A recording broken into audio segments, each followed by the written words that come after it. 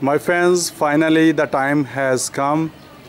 The dream is going to come true. The dream to build a home of God church. And my friends, the land which is marked with this uh, red ribbon uh, is the home.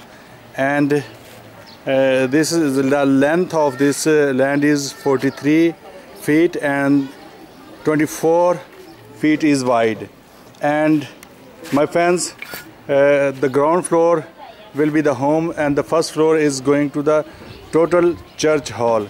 So my friends please pray for our ministry and uh, that we may build the church as soon as possible. God bless you all my friends amen